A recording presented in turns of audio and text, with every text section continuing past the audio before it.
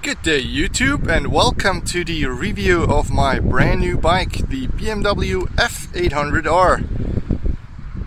I must say this is probably the least reviewed or maybe least loved bike, judging by how few times this bike appeared in the press when it actually launched. And yes, I've got myself one of these about five, maybe six months ago.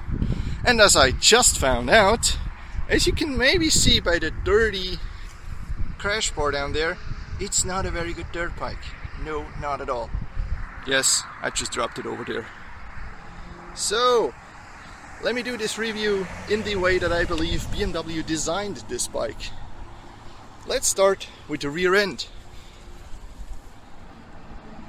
Pretty big chain and very good back brake. As you can see, these are stock Metzeler tires. Here we have a massive, nice sounding exhaust. Even stock, this thing makes a wonderful noise. And as you can see, ABS on the back brakes. I will lose a few words on that on my Ride It review that I will hopefully be doing soon. That brake is just wonderful. It's set up so well, it's unbelievable. It even lets the back end slide around a tiny bit until it catches you nicely back in.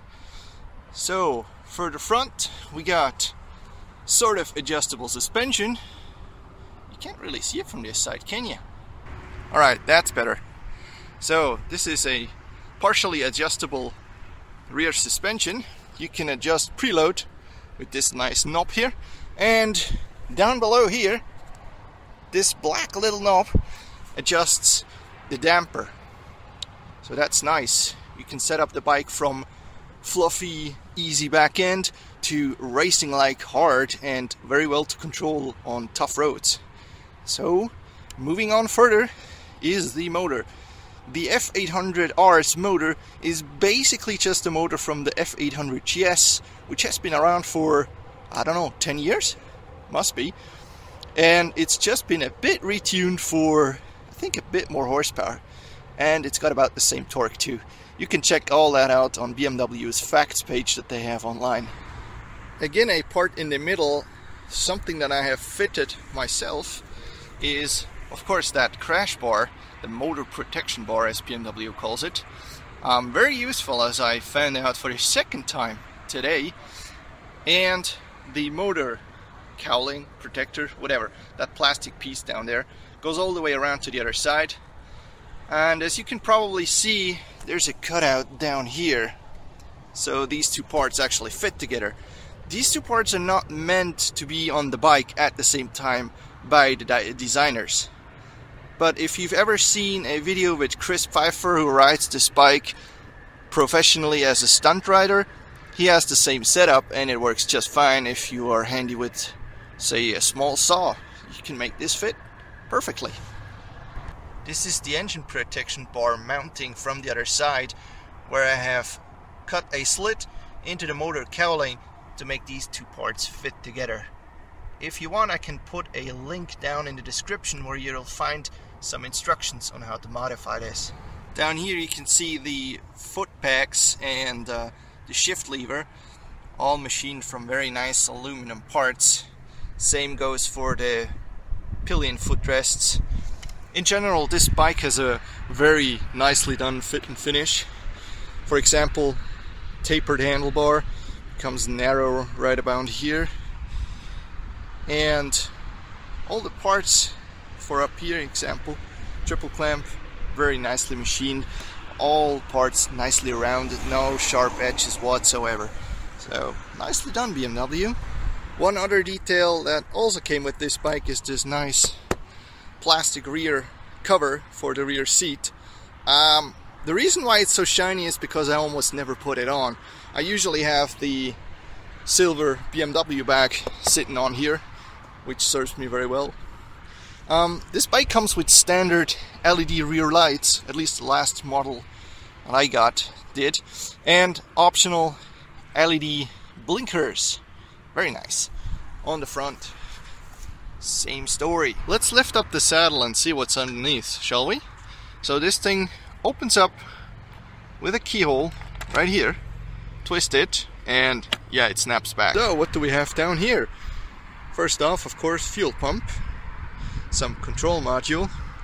Over here is the CAN bus plug with which to read out all the diagnostic stuff, and the locking mechanism for the saddle. On the underside of the saddle is the most sad little tool set I've ever seen on a bike. There's a small wrench over here that's strapped in there's a two-sided screwdriver that you can put in front or back and there's a Torx slash Allen wrench tucked in there. So yes, they do expect you to buy some more stuff here. On the front we have dual disc brakes, again with ABS of course, from Brembo. These brakes are extremely good. Um, they allow an actual easy just to control stoppy in the dry and in the rain they give you very good confidence to stop this vehicle on a dime. One other piece of protection equipment that I fitted to this bike are these axle protectors or sliders as they may call them from GSG Moto Germany. Um, same thing at the back, you see these big knobs protruding there. Um, you can either use them to prop up the bike on a paddock stand or yes, they protect the entire axle assembly from actually touching the ground once you would do a low sider. The front suspension is a standard suspension, no upside down fork here, but it does its job absolutely wonderfully. I've never found this lacking in any aspect, and as you can see up here, it's not adjustable. But that's absolutely fine by me. This bike is wonderful anyhow. Coming to the instrument cluster and headlight assembly, this is probably the only real part of this bike that BMW engineers didn't design so well. Let me try and explain to you guys why. First off, what you can see here is not a skewed or weirdly formatted video. This is actually how the cluster looks like. The speed gauge is an oval. Yes, that means essentially around the 50 kilometers per hour or 30 kilometers per hour mark around here you can't really see how fast you're going because the needle's not even touching the numbers. Up here however it's going right into the little dashes here. So dear BMW what the fuck?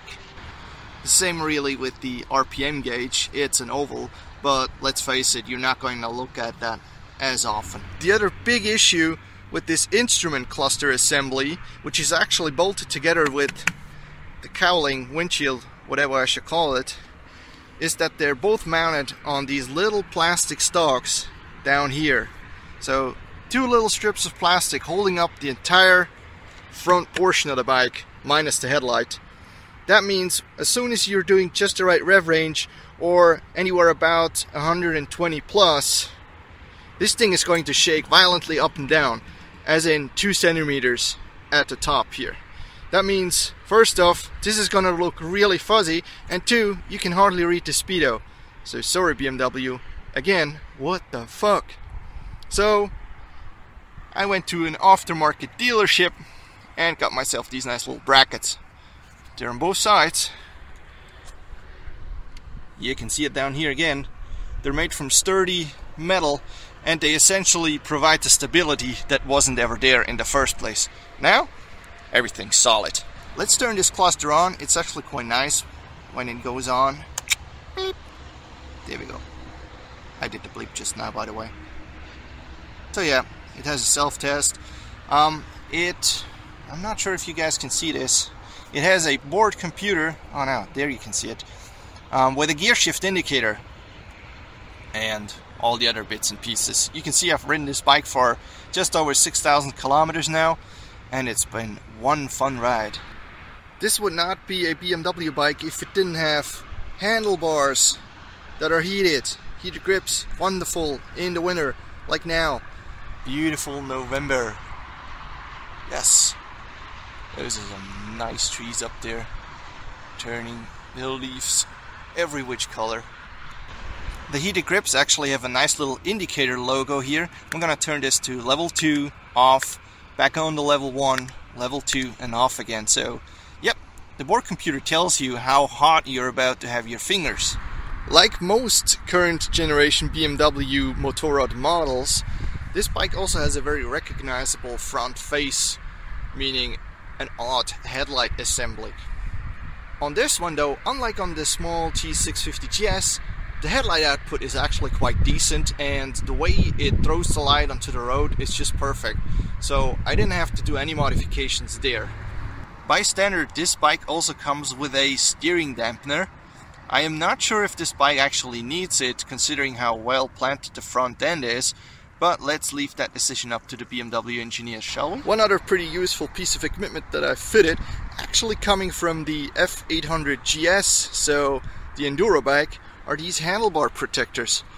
Solid steel mounted with a large bolt here and some more screws and a bracket over here.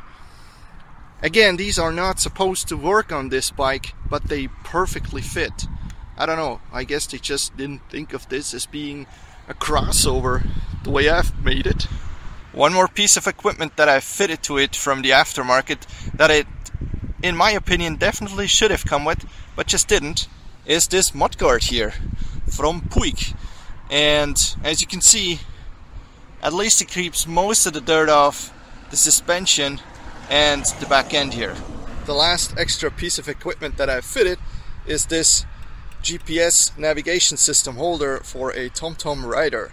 I can absolutely recommend it to anyone wanting to find curvy roads. Yes, it actually has a function for that.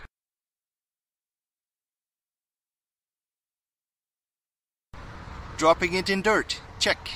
Dropping it on an ice sheet on a mountain pass in the Alps, check. Using the similarities between this bike and its enduro bigger brother to fit on weird parts that were never designed to be there in the first place, but oddly enough fit just fine, check. Putting fun stickers on it, check.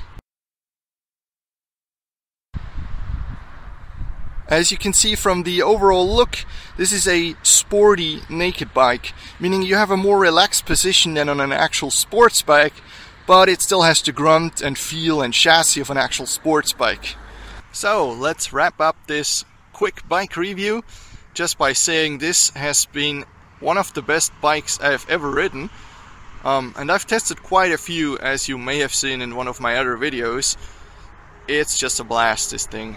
As always, thanks for watching and see you in my next video where I will do a let's ride of the BMW F800R.